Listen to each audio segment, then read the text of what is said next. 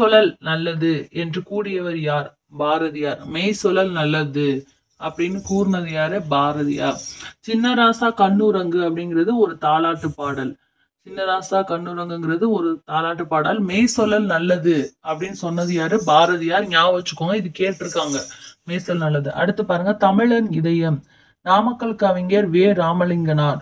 தமிழன் இதயம் என்ற பாடலை எழுதியவர் நாமக்கல் கவிஞர் வே. ராமலிங்கனார். அடுத்து மூதுரை எழுதியவர் ஔவையார் நீண்ட வழி போக வேண்டும் அம்மா என கூறியவர் கவிமணி தேசிய விநாயகனார். நீண்ட வழி போக வேண்டும் அம்மா என கூறியவர் கவிமணி தேசிய விநாயகனார். நருந்தொகை எழுதியவர் அதிவீரராம பாண்டியர். நருந்தொகை எழுதியவர் அதிவீரராம பாண்டியர். அன்னை தமிழே நா காமராசன் அன்னை தமிழே நா காமராசன்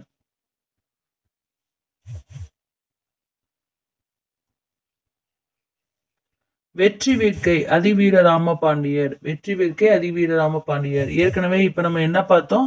அன்னை தமிழ் எழுதினது நா. காமராசன் நருந்தொகை நருந்தொகை வெற்றி வேட்கை. ரெண்டுமே வந்து அதிவீர ராம பாண்டியர் தான். நீண்ட வழி போக வேண்டும் அம்மா. கவிமணி தேசிய விநாயகனார். மூதுரை ஔவையார். தமிழன் இதயம் நாமக்கல் கவிஞர் வே. ராமலிங்கனார். சின்னராசா கண்ணுரங்கு தாலாட்டு பாடல். மெய் சொல்ல நல்லது பாரதியார். ஸோ அடிக்கடி முக்கியமான கொஸ்டின்ஸ் அப்படி ரீகால் பண்ணிட்டு போயிட்டோம்னா முடிஞ்சு போச்சு. மைண்ட்ல இருக்கும். அதெல்லாம் எங்கேயும் போகாது பயப்படாதீங்க. காவல்காரர் எழுதியது அழவள்ளியப்பா அழவள்ளியப்பா. காவல்காரர் எழுதியது அழவள்ளியப்பா. நன்னெறி பாடலை எழுதியது சிவபிரகாச சுவாமிகள். நன்னெறி பாடலை எழுதியது சிவபிரகாச சுவாமிகள். நீதிநெறி விளக்கம். நன்னெறி பாடல் சிவபிரகாச சுவாமிகள். காவல்காரர் அழவள்ளியப்பா. நீதிநெறி விளக்கம் எழுதியது குமரகுருபரர். ஆனை பசுனை பூனை பூவின் தேன். அடுத்து தெல்லிய பழமையான ஆள் என்பதன் பொருள் ஆலமரம். நீதிநெறி விளக்கம் குமரகுருபரர். நன்னெறிங்கிறது சிவ சிவபிரகாச சுவாமிகள். காவல்காரர் அழவள்ளியப்பா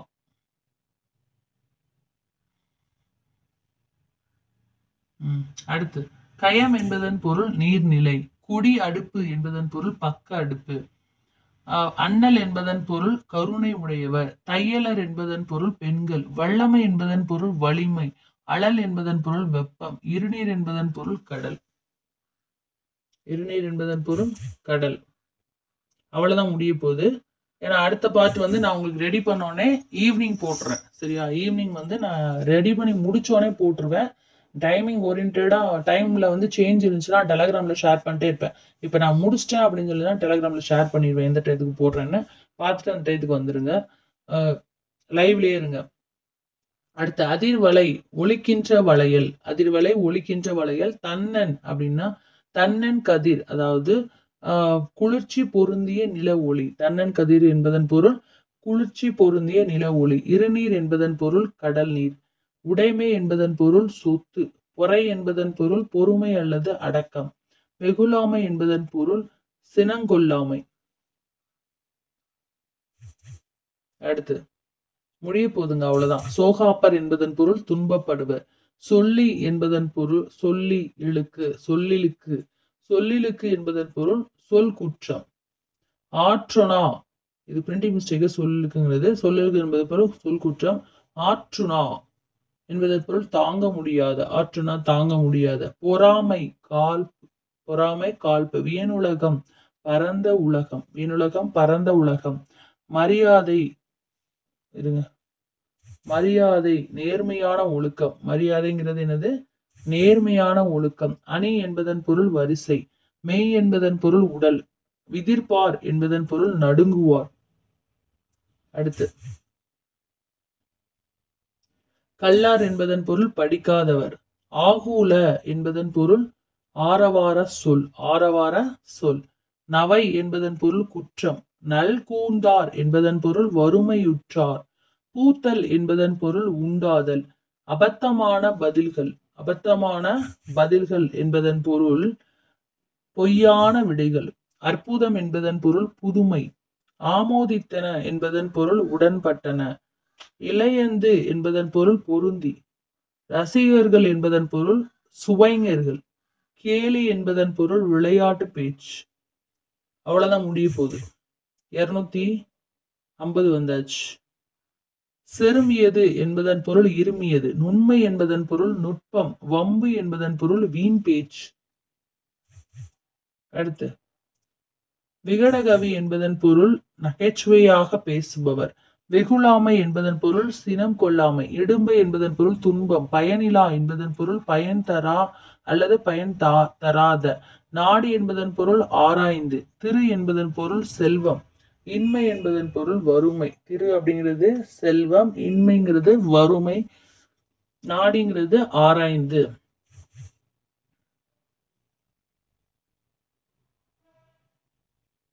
இன்னா என்பதன் பொருள் துன்பம் சால்பு என்பதன் பொருள் நல்ல குணம் திணை என்பதன் பொருள் மலைப்பயிர். மலைப்பிஞ்சு அப்படிங்கிறது வேலூர் மாவட்டத்தில் பேச்சு வழக்கா இப்போ வரைக்கும் இருக்கு. இந்த மலைப்பிஞ்சுங்கிறதுக்கு அவங்க பாஷையில் என்ன பேசுனா குறுமணல் அப்படின்னு சொல்லுவாங்க. குறுமணல். கொள்ளை என்பதன் பொருள் புன்சை நிலம். கொள்ளைங்கிறது புன்சை நிலம். அடுத்து களி என்பதன் பொருள் மரக்கிளை. சூளை என்பதன் பொருள் மட்பாண்டம் சுடும் இடம். மட்பாண்டம் சுடும் என்ன சொல்லுவோம்? சூளை. சூளை சூளை செங்க சூளைன்னு சொல்லுவோம்ல அது. அடுத்து சப்பம் என்பதன் பொருள் திருத்தம். தட்டம் என்பதன் பொருள் தட்டு. அடுத்து பட்டறிவு என்பதன் பொருள் அனுபவ அறிவு. தணிக்க குறைக்க விவரி சாரி வருணை விவரிப்பு. வெளித்து அழைத்து டக் டயாக்சின் என்பதன் பொருள் நச்சு புகை தெங்கு தென்னை மரம் இணங்கி சேர்ந்து அடுத்து பார்க்கலாம். இருநூத்தி எழுவத்தி ஆறுல மகிழ் மகிழம்பூ கந்தம் மனம் மடல் இதழ் அமிர்தம் சாவா மருந்து கார்காலம் மழைக்காலம் பொறி கருவி வாடை வடதிசை. அவ்வளோதான் முடிய போதுங்க. டல் ஆகாதீங்க. இரநூத்தி எண்பத்தி மூணாவது கேள்வி பாருங்க. வெறுப்பு மலை. சாரி இது வெறுப்பு இல்லை வெறுப்பு. பிரிட்டி மிஸ்டேக் வெறுப்பு மலை. கசட கசடர குற்றமின்றி. கசடரங் என்பதன் பொருள் குற்றமின்றி. எல்லாமே பொருள் தான் பார்த்துட்டு இருக்கோம் தன்கடல் குளிர்ச்சியான கடல். சிறுமை இழிவு. அவ்வளோதான் இரநூத்தி எண்பத்தாறு வந்தாச்சு. இதில் என்னங்க நம்மளுக்கு கஷ்டம்? ஃபர்ஸ்ட் டைம் உங்களுக்கு படிக்கும்போது பெருசாக தெரியும். அதுக்கப்புறம் வந்து நம்ம வந்து படிச்சிடலாம். ஓகேவா போகேல் என்பதன் பொருள் போகாதீர். ஏகுக செல்க மீளுக திரும்புக எய்துவர் அடைவார். ஏற்றம் மேன்மை சமவெளி சமமான நிலப்பகுதி. சமவெளி சமமான நிலப்பகுதி. கசடு குற்றம் நன்சை நீர்வளம் நிறைந்த நிலம் புன்சை வானம் பார்த்த பூமி. பாரதிதாசனை பத்தி சொல்லியிருக்காங்க. அவங்களோட ஆசிரியர் குறிப்பை நம்ம பார்த்துடலாம். பாரதிதாசனோட இயற்பெயர் கனக சுப்புரத்தினம் இவரது ஊர் வந்து புதுச்சேரி. இவரது பெற்றோர் பார்த்தோம்னா ஆஹ் பாரதிதாச இயற்பெயர் கனக சுப்புரத்தினம் சுப்புரத்தினம் நான் வரும்.